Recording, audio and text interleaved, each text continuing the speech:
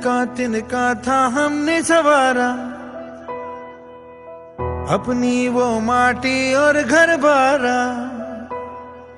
लुट रहा ये चमन, अपना वतन। आँखों से अपनी लुट रहा ये चमन, अपना वतन। आँखों से अपनी संकल्प बोल के हम तो निकल पड़े, हर द्वार खोल के गगन कहे, विजय भवन। विजय भव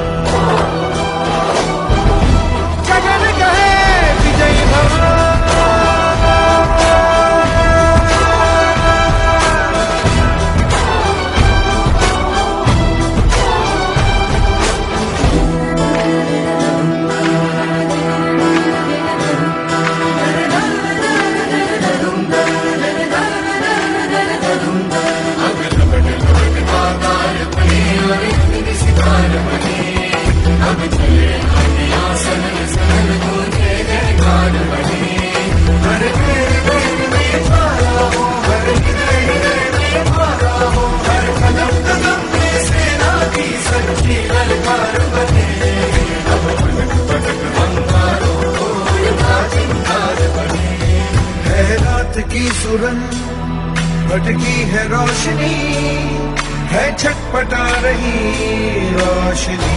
गगन कहे विजय भव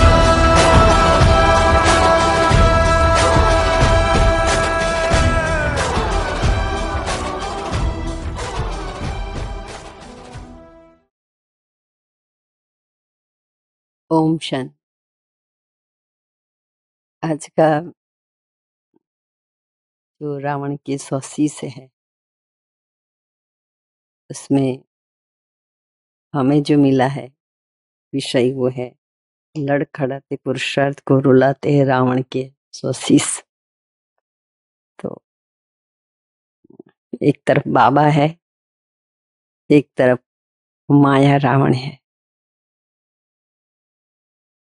बाबा कहते हैं, दो दिन की मुरली में बाबा ने बताया था कि ये जो मेरे बच्चे हैं ना, माया को कहा, किसी ने कहा कि, बाबा, ये माया को कहो कि हमें तंग ना करे। बाबा ने क्या कहा? अरे, माया को मैं कहूँगी, इतना फतकाए इतना फतकाए, नाक पकड़ पकड़ के फतकाए और उसे देखो कि स्वर्ग के लायक है कि नहीं है। क्योंकि देखो, बाबा ने जो रथ लिया। उस रथ में भी बाबा ने कितनी परीक्षाएँ ली। ऐसे फ़र्स्ट नंबर नहीं आया है। बहुत परीक्षाएँ थी उनकी भी। एक बार की बात है कि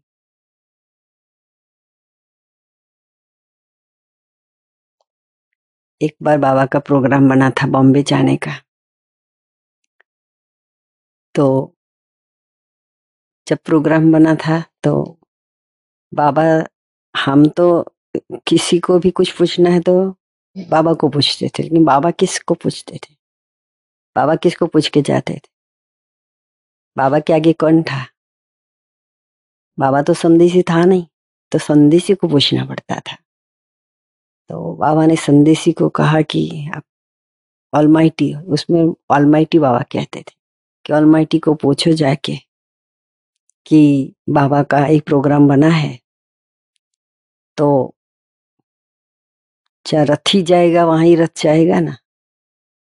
तो बाबा को पूछ के आओ। तो संदेशी वतन में गई। बाबा उसको दिखाई दिया और उसने कहा कि कैसे मतलब कि ऐसे प्रोग्राम बना है। बनाना है। तो बाबा जाए। कि ना जाए। बाबा ने कहा कि हाँ बाबा ने हरी झंडी दे दी। और हरी झंडी देने के बाद सब जगह पे प्रोग्राम बताया कि बाबा बॉम्बे में आने वाला है। तो कोई कोई तो क्या मधुबन में बाबा को मिलने के लिए आते थे तो ये संदेश देना बहुत ज़रूरी था कि उस समय बाबा नहीं हो तो। और भी जहाँ भी बाबा का जाना होता था, वहाँ सब इकट्ठे हो जाते थे, कहीं ना कहीं से आ जाते थे। तो बाबा ने मतलब संदेश सब जगह पे, भाई साहब ने, जगदीश भाई जी ने सब जगह पे संदेश दे दिया कि बाबा का प्रोग्राम है बॉम्बे जाने का। लेकिन जब जाने का टाइम आ गया तो टैक्सी बाहर खड़ी थी। और बाबा ने फिर से संदेशी को पूछा। तो सभी ने बोला, बाबा ने तो एक बार बोल दिया है। लेकिन नहीं अभी जाने का समय है। बाबा को पूछ किया तो संदेशी वतन में गई। तो वतन में बाबा था ही नहीं। वतन में एक लाल तिरंगा फड़कता था। लाल झंडी थी। तो बहुत देर तक रही कि बाबा अभी दिखाई देगा, लेकिन नहीं दिखाई दिया, वापिस आई। तो बाबा को कहा कि, बाबा, वहाँ तो कोई बाबा मिला नहीं है तो ये लाल झंडी थी। बाबा ने बोला, फिर से पूछ के आओ। तो जब वतन में गए तो बाबा थे। बाबा ने कहा, समझ में नहीं आता है, लाल झंडी। तो उसने बोला कि कि बाबा की सख्त मना है कि नहीं जाना है। तो सब जगह पे प्रोग्राम गया था, सब जगह पे लोगों तैयारी कर दी थी। और अंतिम समय में जब भी बाबा ने बोल दिया कि नहीं जाना है तो बाबा ने बोला कि टैक्सी बार खड़ी है, उसको जाके पैसा दे दो। उसना वेटिंग चार्ज भी दे दो और उसको कहो, ज़्यादा पैसा दे दो। और कहो कि अभी बाबा का प्रोग्राम तो कैंसिल हो गया है। तो बाबा ने ट्रंक कॉल किया, सबसे पहले जगदीश भाई जी को, क्योंकि वही प्रोग्राम बनाते थे और सबको सबको कहते थे। तो जब ही जगदीश भाई जी को फ़ोन किया तो जगदीश भाई जी दिल्ली में नहीं थे वो तो कहीं और बाहर गए थे। तो बोला गुलझार दादी को बोला। गुलझार दादी जी भी जगदीश भाई जी के साथ गए हैं। तो फिर चक्रधारी बहन ने फ़ोन उठाया था। तो चक्रधारी बहन इतनी खुश हो गई कि बाबा का आवाज़ और बाबा का, मेरी बात हो रही है। इतना बड़ा नशा होता है ना, बाबा की डायरेक्ट बात हो रही है तो बहुत नशा था। इतना नशा था कि वो खुश खुश थी। बाबा ने कहा कि, बाबा का प्रोग्राम कैसे कैंसिल हो गया है? तो आप जगदीश भाई जी को बताना मतलब भाई जगदीश बच्चे को बताना। तो इसने तो भाई साहब जहाँ था वहाँ फ़ोन कर लिया और सभी पूछने लगे, क्योंकि भाई ये क्यों ऐसे, आपने क्यों पूछा नहीं कि बाबा क्यों नहीं आता? क्योंकि मैंने तो नहीं पूछा, वो मैं तो इतने में खुश थी कि बाबा का आवाज़ सुनने को मिला है, लेकिन मेरे को, मैंने कुछ नहीं पूछा। पूछना चाहिए ना, इतना सारा प्रोग्राम बना है तो। तो बोला, नहीं पूछा। फिर जब ये सारा प्रोग्राम कैंसिल हो गया, कितनी बड़ी बात थी। बहुत सारी जगह से बॉम्बे में सब इकट्ठे होने वाले थे। तो माँ बाबा का एक संकल्प नहीं चला था। एक संकल्प नहीं चला ब्रह्मा बाबा का कि ऐसे, कैसे प्रोग्राम बन गया है और ऐसा, कैसा प्रोग्राम है ऐसा नहीं। फिर जब भाई साहब मधुबन में आए तो पूछा कि, बाबा, ऐसे बोला कि ऑलमाइटी के आगे कुछ भी नहीं करना है। ऑलमाइटी जब मतलब कहती है तो श्रीमत का इतना तो ऐसे बाबा का तो एक ही प्रसंग, लेकिन पक पक पक पर बाबा की बहुत टेस्टली है, उसका फ़र्स्ट नंबर ऐसे नहीं आया है। तो बाबा को हम जब देखते हैं, मम्मा को देखते हैं तो उनके जीवन में कितनी परिस्थितियाँ आई होंगी। लेकिन सहज भाव से सब स्वीकार करने से और बाबा की श्रीमत पर चलने से फ़र्स्ट नंबर आया है। तो कहने का मतलब है कि आज का जो हमारा विषय है रोना तो एक बात कहनी पड़ती है कि ज़िंदगी में ऐसा कभी भी नहीं हुआ कोई नहीं रोना, रोया हो। कभी कभी तो किसी की आँख में आँसू आई जाता है। आता है नहीं। सहज प्रक्रिया है तो रोना तो। जब बच्चा जन्म लेता है, जब जन्म लेता है तो क्या होता है? जब नहीं रोता है तो उसकी माँ के दुख दूर नहीं होता है। अगर रोता है तो माँ की सारी पीड़ा, माँ सारी पीड़ा को भूल जाती और बच्चा भी सहज हो जाता है। और जब नहीं रोता है तो असामान्य जैसा हो जाता है, उसमें कभी मर भी जाता है। तो रोना है वो तो कैसा है? सबके जीवन में जब रोते हैं, कुछ न कुछ परिस्थितियाँ आती है तो रोते हैं। तो कहने का मतलब कि मनुष्य की स्वाभाविक वृत्ति तो होती है कि इसकी आँख में आँसू आ ही जाता है। जब नया बच्चे की बात करते हैं तो नया बच्चा जब नया परिवेश में आता है क्योंकि जन्म होता है तो नया परिवेश में। तो रोता ही रहता है, रोता ही रहता है। उसके बाद थोड़ा सा थोड़ा सा बड़ा होता है। तो जिसको पहचानता है उसकी माँ का हाथ को पहचानता है। तो माँ जब लेती है, चुप हो जाता है। बाकी किसी के पास, क्योंकि वो हाथ को पहचानता है। देखो, इतना छोटा सा बच्चा रोता ही रहता है। जब इसकी माँ हाथ में लेती है, तुरंत ही चुप हो जाता है। थोड़ा बड़ा होता है तो बच्चा सबको जहाँ जहाँ वो थोड़ा बड़ा होता है तो जब नई व्यक्ति को देखता है, नई वातावरण को देखता है तो घबरा जाता है। यहाँ हम देखते हैं, बच्चे आते हैं माँ बाप को थोड़ा सा आगे पीछे हो जाते हैं तो रोते रहता है, एक्सचेंज में आते हैं। और रोते ही रहते, कितना भी समझाओ उसको, मानता नहीं होता है। और थोड़ा बड़ा होता है तो जिस व्यक्ति या वस्तु से परिचित होता है, उसके साथ तो बहुत अच्छी रीति से घुल मिल जाता है। जो व्यक्ति अच्छा नहीं लगता था, वो भी अच्छा लग जाता है। तो रोने की प्रक्रिया वो तो कैसी है? सहज है। लेकिन बाबा कहते हैं कि, लेकिन जीवन का सार क्या है? कि जब तक हम किसी से परिचित नहीं होते हैं, तब तक रोते हैं।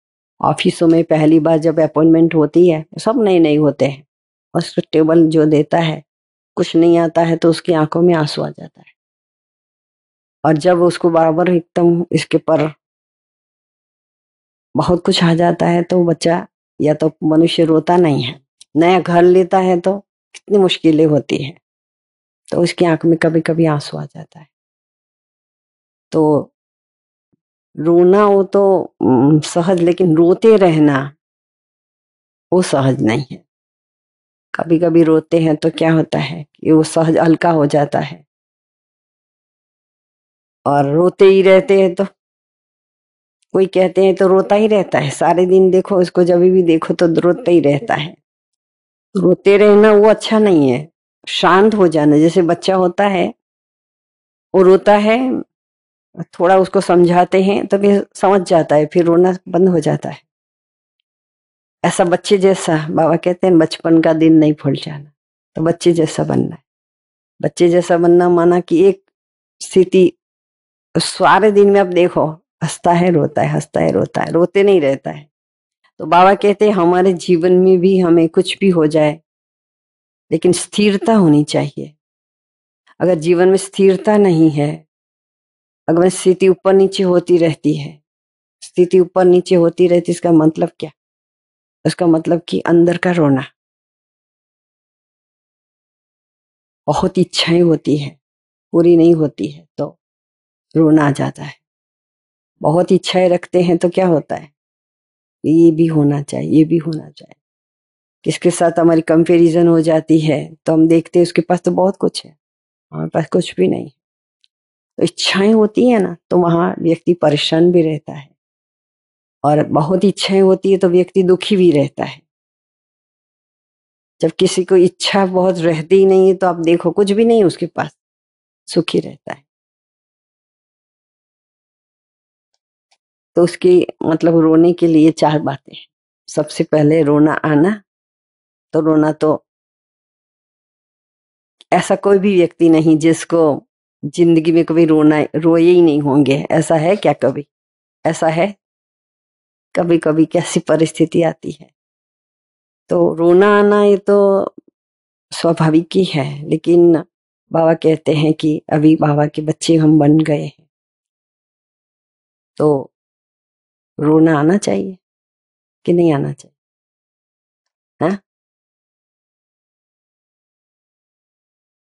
फ़ायदे तो साइंटिस्ट वाले बहुत बताते हैं। वो आंसुओं में क्या होता है, सब कुछ अच्छा होता है।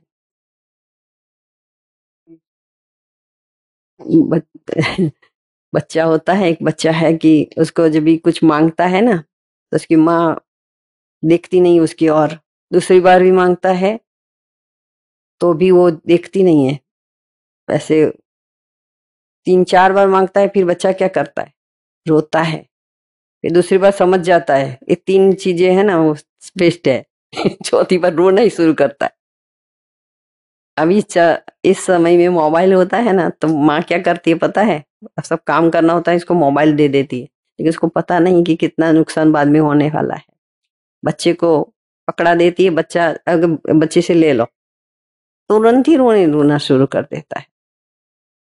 तो तो रोना आना, वो तो स्वाभाविक है, लेकिन बाबा के रोना मिटना चाहिए, रोना मिट जाना चाहिए। तो कैसे मिटेगा रोना? इतना रोना आना है, रोना मिटना कैसे? तो बाबा कहते हैं कि चाहे रोना कब आता है? कब कब आता है? क्योंकि हम तो सब अनुभवी है। रोना आता है ना, कब कब आता है? कैसे कैसे? सबसे पहले तो हमारी एक ऐसे विपत्ति आ जाती है। कोई ऐसी जीवन में परिस्थितियाँ आती है? शारीरिक बीमारी आती है, जो गंभीर बीमारी है, उसको पहले मालूम ही नहीं था, लेकिन अचानक मालूम पड़ जाता है कि उसको ऐसी गंभीर बीमारी। तो व्यक्ति है ना, सबसे पहले उसकी आँखों में आँसू आ जाता है। अंदर अंदर रोता है। उसको लगता है कब पता नहीं क्या हो गया है। तो तो शारीरिक बीमारी, गंभीर बीमारी होती है तो अंदर से वो रोता है। दूसरा है कि कभी परिस्थितियाँ ऐसी होती है, भूकंप आ जाता है और घर टूट जाता है, सब कुछ खराब हो जाता है तो भी व्यक्ति को अंदर से तीसरा है कि कोई व्यवहार करता है, दुर्व्यवहार तो बहुत ही ऐसा दुर्व्यवहार करता है कि अंदर से व्यक्ति को दुखी हो जाता है। कोई कहते हैं उसके पीछे पड़ा ही रहता है, पड़ा ही रहता है तो व्यक्ति बहुत दुखी हो जाता है तो दुखी होना भी तो रोना है। तीसरा है कि किसी को पूछा कि रोना क्यों आता है? बोला बहुत दुख की अति हो जाती है। घर में सासू बहू होती है और बहू बहुत परेशान हो जाती है। सास बहुत तंग करती है। घर तो छोड़ नहीं सकती। तो क्या करती है? रोना रोती है। अपने परिवार माँ को फ़ोन करती रहती है कि मैं इतना दुखी हूँ दुखी हूँ। एक प्रसंग हमने देखा यहाँ। घटना है, सच्ची घटना है। एक बहन थी, यहाँ ही थी वो। बहुत छोटी उम्र में आई थी सोलह सत्रह साल की आई थी। फिर यहाँ छोटी थी, चंचल भी थी तो इसके माता पिता ने समझा कि इसकी शादी करा दो। और बहुत अच्छा काम करती थी वो यहाँ भी। इतनी बुद्धि भी इसकी तेज थी और अच्छी रीति से काम भी करती थी, बहुत फुर्त थी।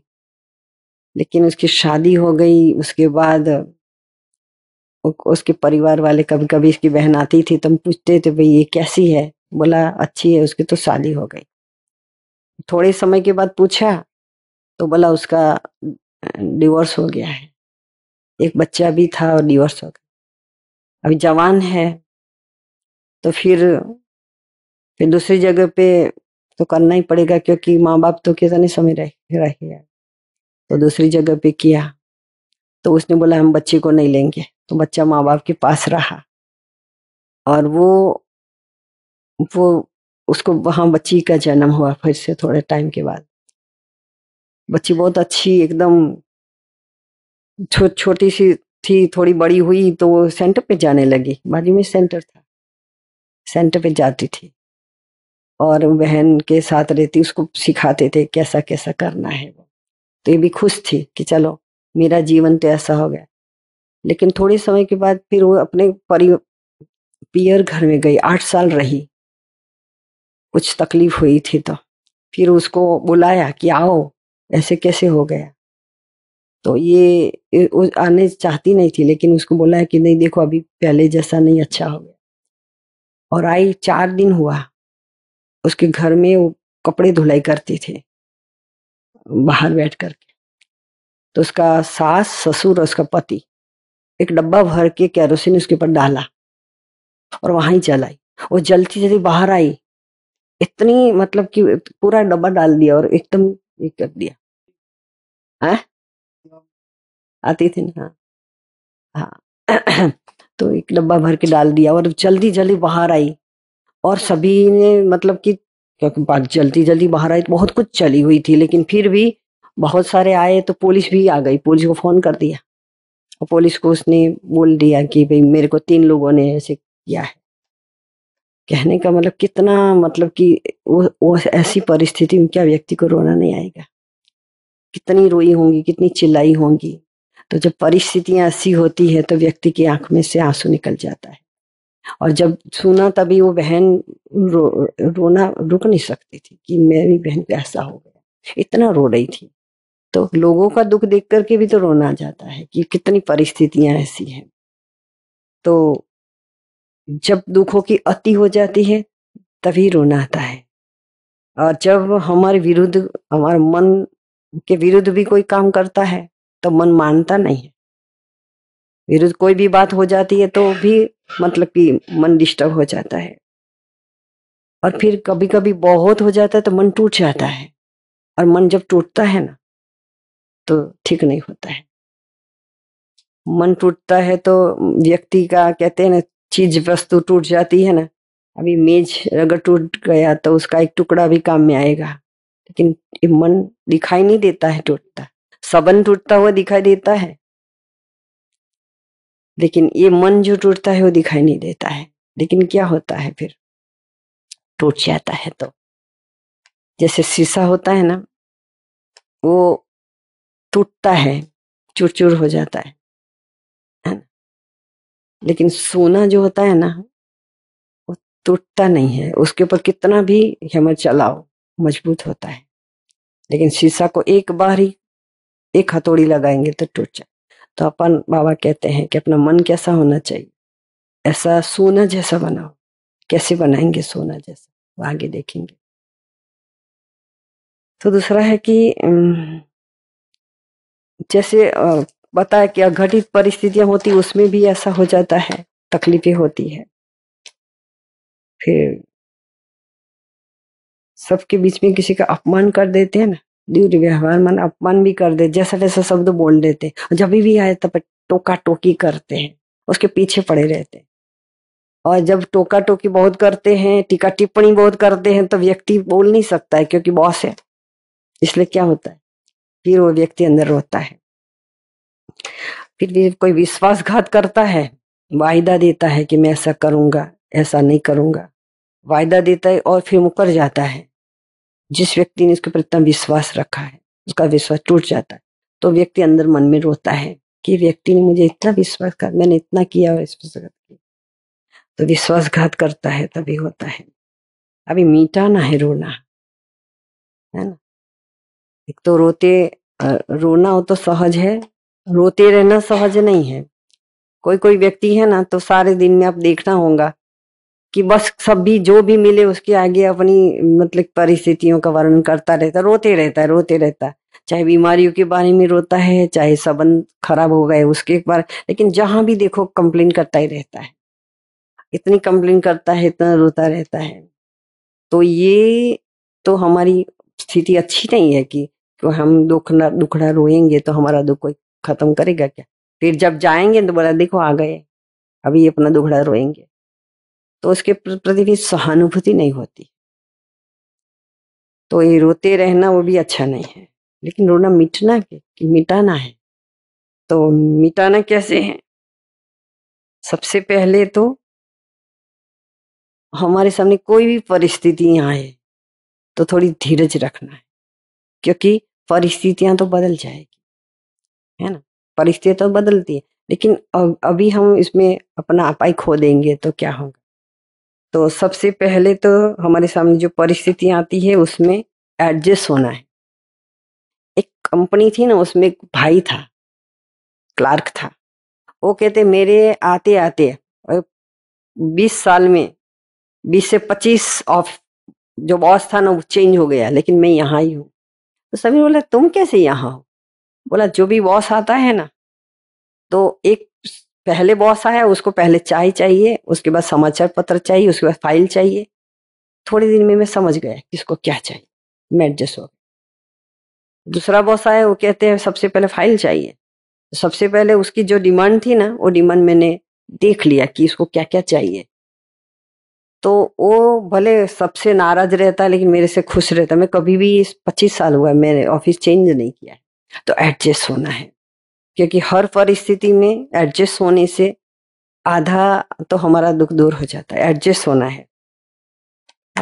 दूसरा है कि कोई भी दुख आता है ना तो हम सहज भाव से स्वीकार कर लेते हैं। कोई भी परिस्थिति आती है, उसको सहज भाव स्वीकार कर लेते हैं तो हम उसका जब प्रतिक्रिया करते हैं ना तो बहुत दुख होता है। जैसे हम हॉस्पिटल में जाते हैं ना तो वो हमको दांत की दांत की जो ट्रीटमेंट देते हैं ना तो एक इंजेक्शन देता है, तभी बहुत दर्द होता है। उसके बाद हम इंजेक्शन जो होता है ना, उसके बाद दुख नहीं होता है। लेकिन वो वो जो हम आँखों से देखते हैं ना साधन चिप या देखते वो देखते हैं तो हम उसकी प्रतिक्रिया करते हैं। तो भाई कहते हैं, शांति रखो, शांति कुछ होता है क्या? नहीं होता है, लेकिन जो देखते हैं तो प्रतिक्रिया होती है।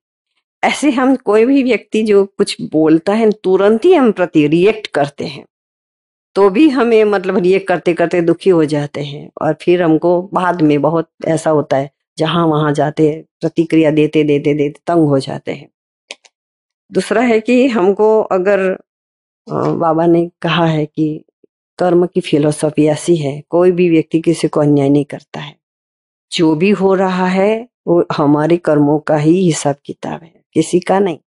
कोई व्यक्ति अच्छा लगता है, कोई व्यक्ति बुरा लगता है। देखते हैं, दूर से कोई व्यक्ति बहुत अच्छा लगता है।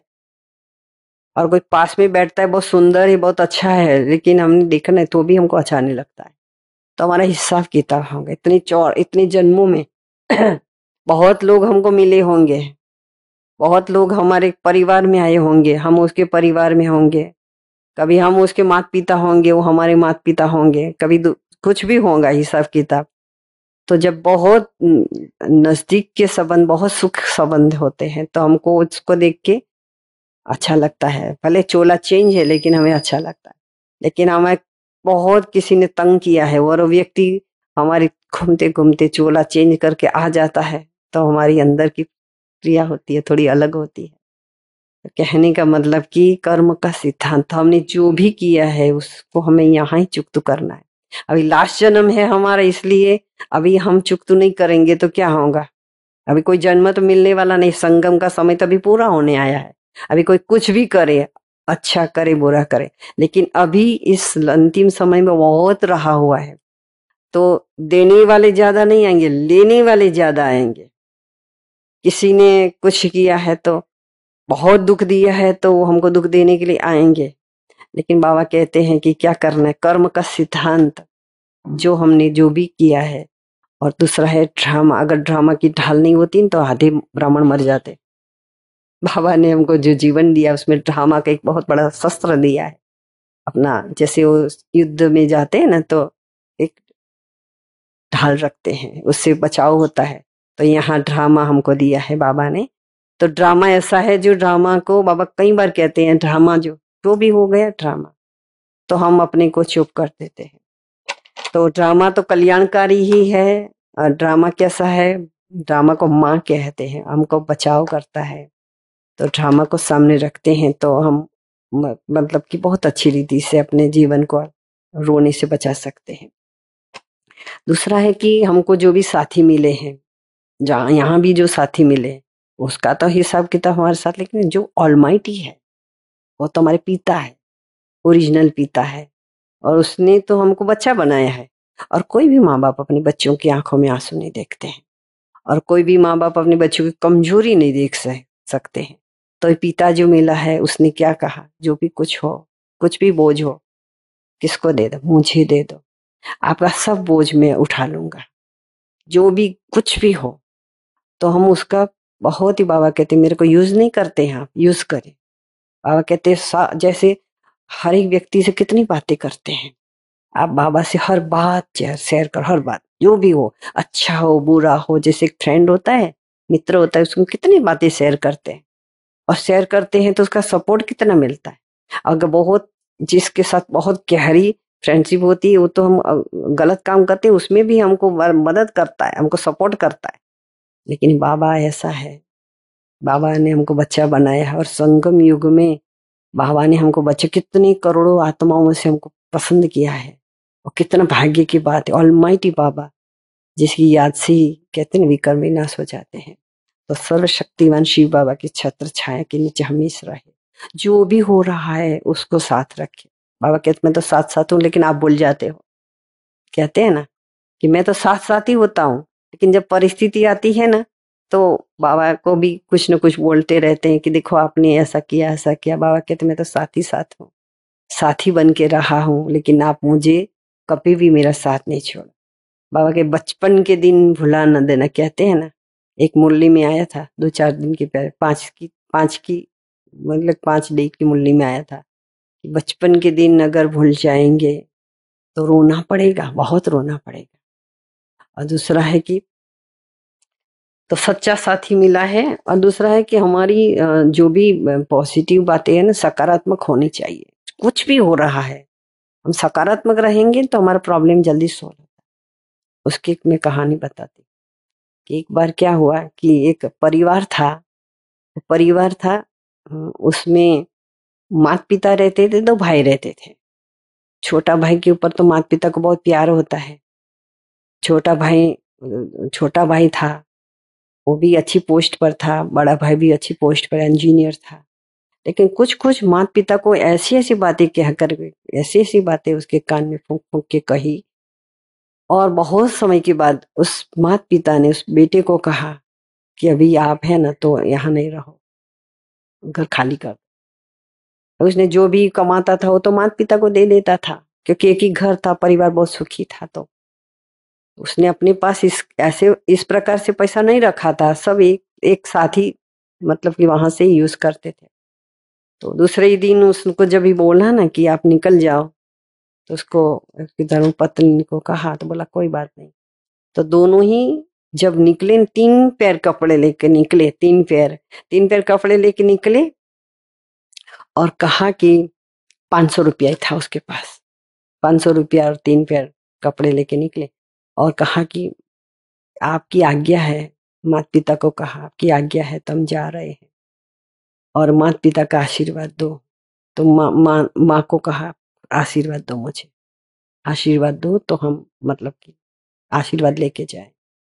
तो माता पिता को पाँव पड़े, आशीर्वाद मांगा और चले गए।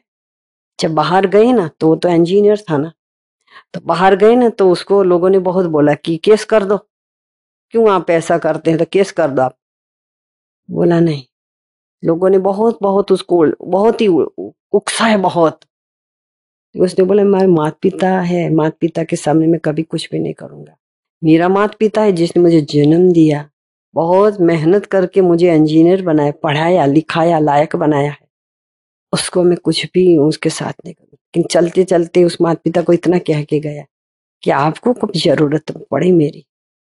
मेरी ज़रूरत पड़े तो मेरे बुला लेना कोई भी परिस्थिति, कैसी भी परिस्थिति तो मुझे बुला लेना फिर वो चला गया तो उसके मित्र तो थे बहुत, क्योंकि वो पढ़ते थे तो और उसमें बहुत ही, बहुत अच्छी रीति से वो काम करता था। तो इसलिए लोगों ने कहा कि कोई बात नहीं है तो थोड़ा किराया पर एक कमरा दे दिया और वो वो बहन भी बहुत पड़ी हुई थी, लेकिन उसने आसपास के आसपास के जो भी छोटा छोटा काम वो सब कुछ करके अपना थोड़ा एक साल तक थोड़ा एक किया। उसके बाद एक कंपनी खोली मिल, मिल करके चार पाँच लोगों ने। लेकिन उनके पास पैसा तो पच्चीस परसेंट ही था लोगों के पास तो पैसा बहुत था। तो तो उसने बोला कि मेरे पास तो बहुत कम पैसा। बोला कोई बात नहीं तेरे पास तो ये कला है ना इस कला से। और फिर धीरे धीरे धीरे इसमें इतने पाँच सात साल में तो इतना आगे बढ़ गया।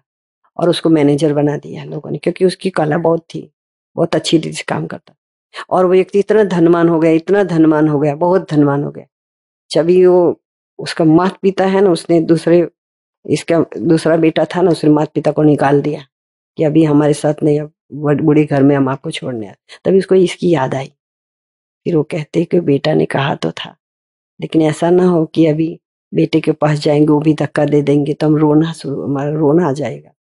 फिर भी हिम्मत करके माता ने कहा, नहीं नहीं, उसने बोला है कि आ जाना। तो गए ना तो उतना प्यार से उनको बोला, कोई बात नहीं, घर आपका ही अपने तो सकारात्मक जब रखते हैं तो कितना फ़ायदा होता है। इसलिए जहाँ भी ऐसी परिस्थिति आती है ना, हम तुरंत नेगेटिव हो जाते हैं रिएक्ट कर लेते हैं। लेकिन जो भी परिस्थिति आती है, हम सकारात्मक रहते हैं तो उससे बहुत फ़ायदा होता है। तो सकारात्मक रहना चाहिए। दूसरा है कि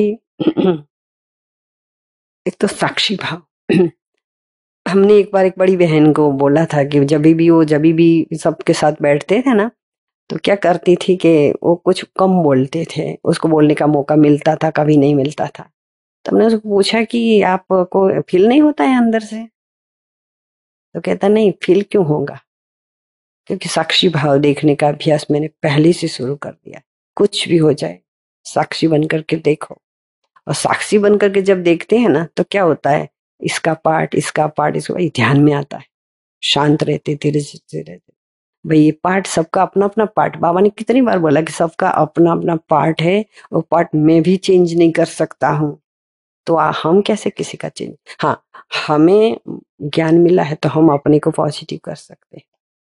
तो साक्षी भाव। दूसरा मेरे गुलझार दादी है ना उसको जब बीमार थी ना तभी मैं शांति स्तंभ पर उसको घुमाती, मुझे नीलुबेन कहती, इसको घुमाना। तो घुमाती थी। तो ये इंद्रप्रस्थ था ना, जब भी उसके ऊपर कांच नहीं था उस समय। और सभी दादियाँ बैठी थी, बहुत सारी दादियाँ बैठी थी, सारी गुलझार दादी उसमें नहीं थी, पूरा भरा हुआ था। तो मेरे को अंदर से संकल्प चला, मैं दो तीन राउंड मराया दादी को बिल्कुल उसके ऊपर नज़र नहीं है। मैंने बोला, दादी देखो। तो दादी ने क्या कहा? हाँ कोई बात नहीं। मेरी ज़रूरत पड़ेगी ना तो मुझे बुलाएँगे। तब तक चलो थोड़ा वॉकिंग हो जाए। इतनी बड़ी दादी देखो। सब सब दादियाँ बैठी सिर्फ़ गुलशर दादी नहीं थी। तो भी उसको अंदर से संकल्प नहीं चला कि अरे मेरे ये तो इसने बैठे लेकिन मेरे को भी जाना चाहिए। हम तो फटाफट दौड़ के जाएँगे ना कि भाई ये क्यों हम, हम तो यहाँ है? तो ऐसे दादियाँ जो थी ना उसमें इतनी सारी शक्तियाँ थी। कैसे शक्तियाँ आई? कैसे शक्तियाँ बहुत सहन किया है उन लोगों ने ना। दादियों ने, बाबा ने, मम्मा ने, ये ये जो जो शुरुआत थी उसमें इतना सहज नहीं था जो अभी देख रहे हैं। अभी तो बहुत सहज है तो सुख है, सतयुग आ गया है, समझो। सब परिस्थितियाँ अनुकूल भी हो गई है, लेकिन अभी का जो समय और उसका समय, उसमें जो त्याग तपस्या की उन्होंने जो त्याग तपस्या की, उसका फल हम ले रहे हैं। तो बाबा कहते हैं कि जो भी हमारे सीनियर भाई बहन है उस, उन्होंने भी तो बहुत सहन किया है। अभी हम देखते हैं मोटर में घूम रहे हैं इसको तो इतनी गाड़ियाँ मिली ऐसी गाड़ी मिली है। उसका जीवन देखो कितना त्याग तपस्या में अभी हम देखते हैं कि देखो फ़्लाइट में घूम रहे हैं फ़्लाइट में घूम रहे तो क्या है? त्याग तपस्या उसके जीवन में बहुत जीवन में त्याग तपस्या की है। इसलिए किसी की किसी को देखते हुए हमको ये ना रहे कि इनको देखो अच्छा अच्छा उसको तो अच्छे रहने का स्थान मिला है, उसको ये मिला है। तो अभी आने वाले लोग तो यही देखते हैं ना, ये देखो यहाँ तो क्या है, एक बहन थी ना, उसके पास कुछ भी नहीं था पहले तो वो आसपास से खुश, क्योंकि चेयर लेना पड़ता था, टेबल लेना पड़ता था, प्रोग्राम बनाना पड़ता था। एक समय ऐसा है कि उसके पास सब कुछ आ गया। बहुत कुछ आने लगा तो आसपास वाले नए नए आए तो कभी कभी शादी होती तो बोला, हमको आपको दो दो, तीन सोफा दे दो ना, हमको ज़रूरत है। मांगने लगे। तो उसने बोला कि, भाई जी, ये तो मतलब कि नहीं दे सकते हैं हम। तो उनको लगा, आपके पास इतना पड़ा है ना, आप तो कहते हो ना, सबको मदद करनी चाहिए। तो मदद ऐसी थोड़ी करनी चाहिए। कहने का मतलब कि बाबा ने जो भी अभी सुविधाएँ दी है, वो उसका अपना अपना पार्ट है। और बाबा ने क्या कहा अभी बाबा ने ये भी कहा कि जब ज़्यादा से ज़्यादा सुविधा लोगे ना तो क्या होगा? वहाँ कम कर दूँगा। यहाँ एक टेबल के बदले आपने दस टेबल लिया है ना तो वहाँ दस टेबल नहीं, एक जन्म ही कम कर दूँगा। क्या कहा नहीं है, मैं आपको बताती हूँ, ऐसा तो बोला नहीं। कहने का मतलब इतना गहरा राज है। बाबा की जो कर्म की फिलोसॉफी ऐसी नहीं है, उसकी ऑटोमेटिक मशीनरी है। ऐसी मशीनरी है कि कोने में बैठ करके अपने पुण्य का कर्म किया है ना तो भी उसकी मशीनरी में आएगा। और कोई भी नहीं जानता है और अपने कोने में एक जगह पे बैठकर पाप कर्म किया तो भी उसकी मशीन में। तो ये हिसाब किताब। बाबा ने अभी हमको कहा है कि हिसाब किताब में चुक्त करने आया लेकिन कैसे चुक्त करता है? कैसे चुक्त करता है हमारा हिसाब किताब? दुख देके नहीं, ज्ञान समझ दे करके समझा समझा करके हमारी आँखों के आँसू पूछते हैं।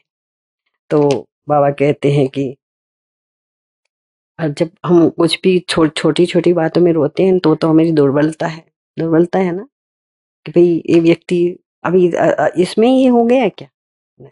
सामना करना है। सामना तो करना पड़ेगा कोई भी परिस्थिति आई है। तो ऐसे सामना नहीं करना लड़ाई झगड़ा करके। वो सामना बात नहीं है। परिस्थितियों का सामना करना है। व्यक्तियों का सामना नहीं करना व्यक्तियों का सामना करेंगे तो क्या होगा? हमारा हिसाब ज़्यादा कड़ा बन जाएगा। इसलिए व्यक्तियों का सामना नहीं करना क्योंकि हमारे पास इतना समय नहीं। संगम की बाबा के एक एक, एक, सेकंड के एक मोहर के समान है। और हमारे पास अभी रहा कितना समय? है इतना समय है। जितना समय गया उतना समय है हमारे पास? नहीं है ना। अभी इतना थोड़ी सी समय में हमको कितना करना है?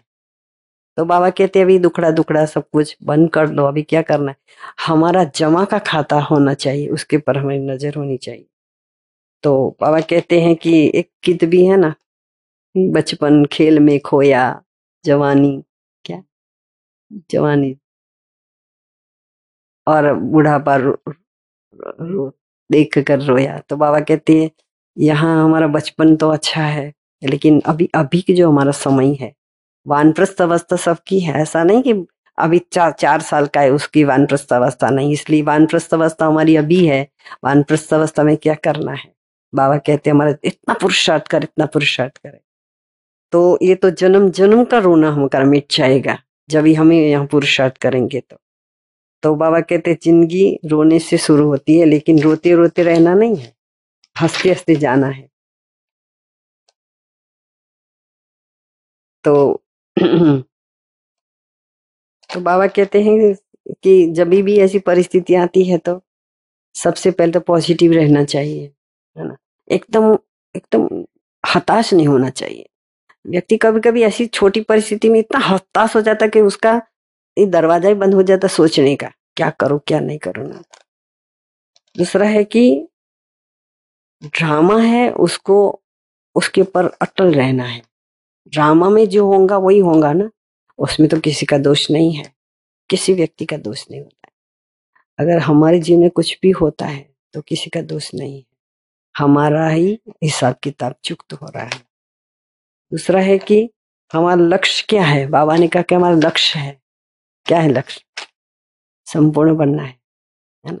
तो संपूर्ण कब बनेंगे? संपूर्ण बनने के लिए बाबा ने हमको क्या क्या दिया है? श्रीमत रोज की श्रीमत तो कितनी सारी श्रीमत है बाबा की श्रीमत बहुत है, लेकिन रोज की मुरली में जो आता है, रोज की मुरली में इतनी श्रीमत नहीं आती। रोज की मुरली में थोड़ी थोड़ी आती। थोड़ी थोड़ी जो आज की मुरली में जो भी आया, उसको हम पकड़ लो और उसके पूरा दिन उसके ऊपर अटेंशन रखे।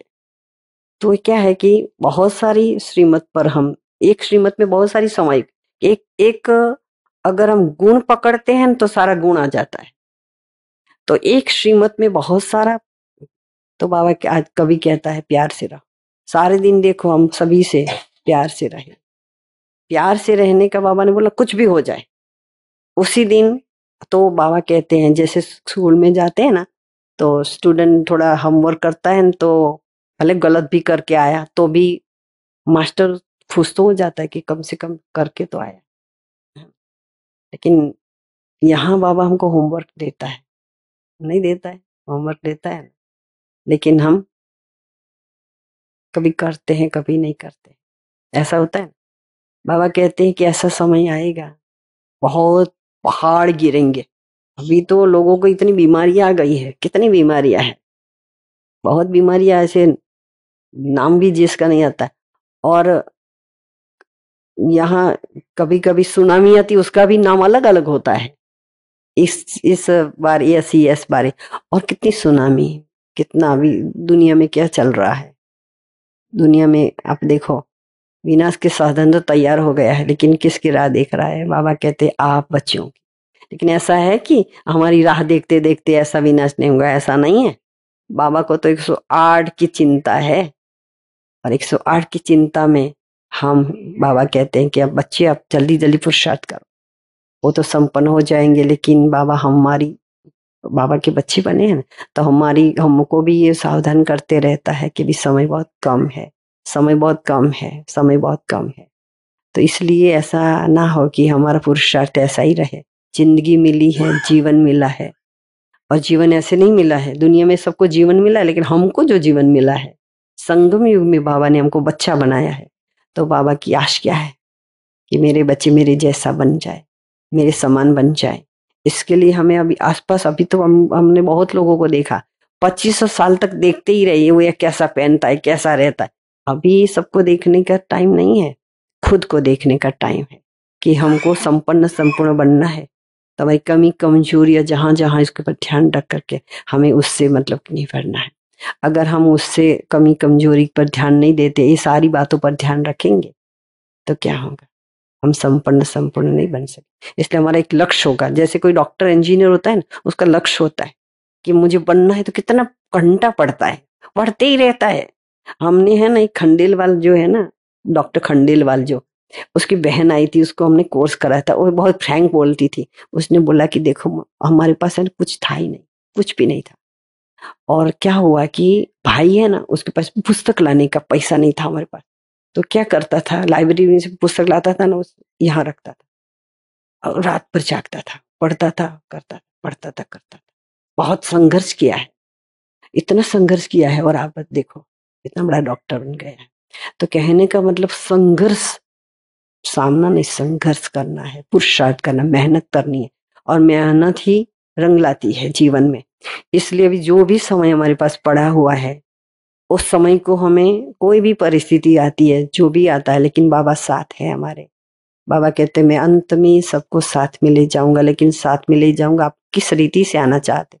बाबा कहते पलकों पर बिठा के ले जाऊँगा। बाबा कहते, मेरे साथ, साथी बन करके आना है बाहर आती नहीं।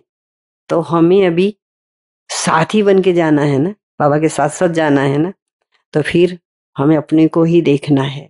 कोई भी परिस्थिति आए, किसी के पर दोष नहीं, किसी पर कुछ नहीं, लेकिन बाबा को साथ ही रखो।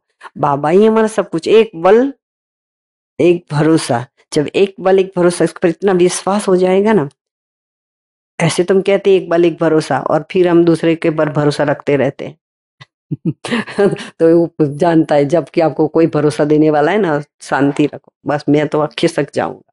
इसलिए हमें अभी है ना एक बल, एक भरोसा, इसके पर इतना विश्वास होना चाहिए।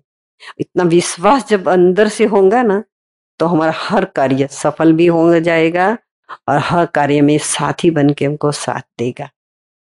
इसलिए बाबा हमारे पास बैठा है, बाबा हमारे साथ है। दुनिया में तो बाबा क्या है मालूम नहीं है। वो तो कितने भगवान, पता नहीं, अभी तो दुनिया में इतने बाबा आ गए हैं। और बाबा ने एक बार कहा था कि इतनी सिद्धियाँ होंगी लोगों में, इतनी सिद्धियाँ होंगी, ऐसा ऐसा होगा कि ये बाबा तो चमत्कार करता नहीं, वो तो क्यों चमत्कार करेगा? उसको तो सबको तरस तरस के लेना है। जैसे मटका लेने जाते हैं तो क्या करते हैं? तो इसको पोस्ट पोजीशन जब कोई की इंटरव्यू होती है ना तो कितने लोग इंटरव्यू करने के लिए बैठते हैं? बहुत लोग बैठते हैं, है ना? कितने लोगों में से कितने लोगों को फेल करते हैं? आठ लेना है, आठ हज़ार बुलाएँगे, है ना? तो बाबा को तो हमारे को इतना बड़ा राजा रानी बनाना है तो क्या ऐसे बना देगा क्या? बाबा कहते मासी का घर है क्या? इसलिए बाबा कहते हैं कि ज़िंदगी मिली है हमको, जीवन मिला है, बाबा मिला है, साथ मिला है। इतना ऑलमाइटी अथॉरिटी के साथ है तो कभी रोना नहीं है है ना? हाँ कभी कुछ होता है तो बड़ों के पास जा सकते हैं सॉल्यूशन लेने के लिए, लेकिन इसका मतलब ऐसा नहीं। लेकिन हमारे बाबा के पर भरोसा रखना है रोज रोज बाबा को, है ना? कुछ इससे बातें बहुत करनी है, जो भी बातें हम लोगों से करते हैं ना, उसे कम करके, उससे बात करो। बातें करने का तो मज़ा आता है, उससे बात करेंगे तो क्या होगा? जैसे जै, जैसे आपने देखा होगा किसी को एक साल में मिलते हैं तो क्या करते हैं? पढ़ने के बाद छोड़ दिया दस साल के बाद मिलते हैं व्यक्ति तो क्या होता है? हाय हेलो करते हैं बस। ऐसा ही है ना? और ऑफ़िस में जब जाते हैं तो ऑफ़िस में भी बस कुछ इतना बातें नहीं करते लेकिन घर में रहते हैं तो अपने परिवार से क्या खाया? क्या नहीं? क्या फ़ोन करते क्या बनाया है? क्या खाया? क्यों? क्योंकि इतना क्लोज हो गए भगवान से भी इतना क्लोज हो जाए कि एक एक सेकंड की बात हम उसको बताए।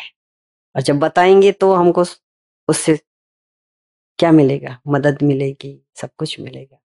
बाबा को तो बाबा कहते ना इतना महामूर्ख देखना हो तो भी यहाँ देखो और महान सुजान दिखना हो तो भी यहाँ देखो। तो बाबा कहते हैं कि मैं मिला हूँ। ऐसा ना हो कि रोना पड़े। अंत में ऐसा पुरुषार्थ, ऐसा ना हो कि अरे रे, हमने को तो मार्जिन मिली थी, हमने पुरुषार्थ नहीं किया। और ऐसा अचानक का पेपर आ जाएगा, बाबा सबको उड़ा के ले जाएगा। इसलिए हमें क्या करना है? अपने पर बहुत ही बहुत ही लोगों को देखना बंद करके, हमारे ऊपर पुरुषार्थ करके, कि ऐसा समय ना आए कि हमको जीवन मिला लेकिन हमने किया नहीं कुछ भी, ऐसा पश्चाताप ना करना पड़ा। बाबा कहते ऐसा होगा कि बाबा के जो बच्चे बने हैं ना उन्होंने पुरुषार्थ नहीं किया होगा ना तो उस समय पश्चाताप का आँसू निकले, खून की आँसू निकलेगा ब्रह्म इसलिए बाबा के ऐसे रोना ना पड़े, इसलिए बाबा को हमेशा साथ रखना है, साथ रहना है और बाबा की श्रीमत पर चलना है। श्रीमत जो भी होंगी, रोज की मुरली में जो भी श्रीमत आती, उसको लिख लेने का और उसके पर चलने का। शांति।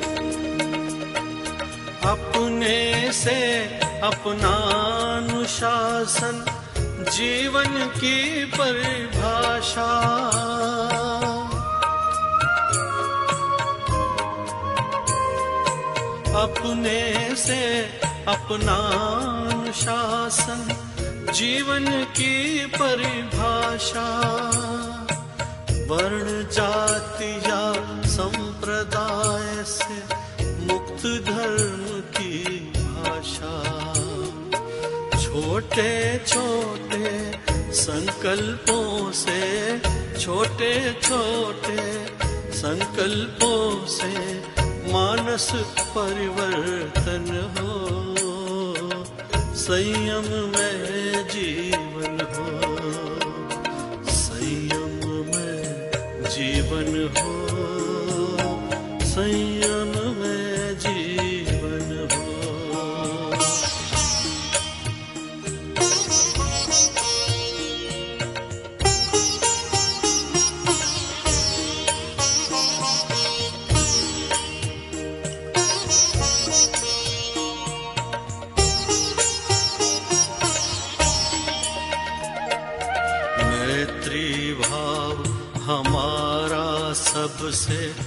प्रतिदिन बढ़ता जाए।